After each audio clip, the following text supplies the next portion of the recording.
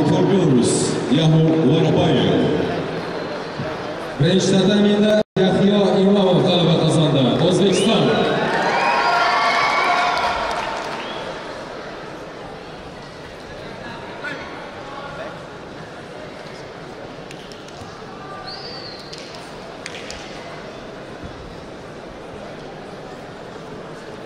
Tatami 1, quarter-final for women under 78 kilo. In white for Kazakhstan, Albina Amangildieva. In blue for Poland, Beata Bakov. Tatami 2, quarter-final for women under 78 kilo. In white for Ukraine, Anastasia Turchin. In blue for Italy, Melora Rosetta.